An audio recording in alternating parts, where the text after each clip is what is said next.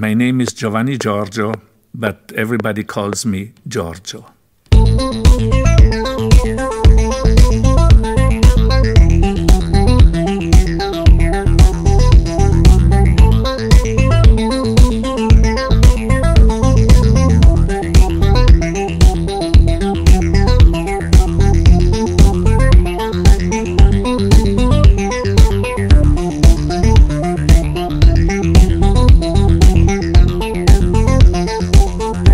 Thank you.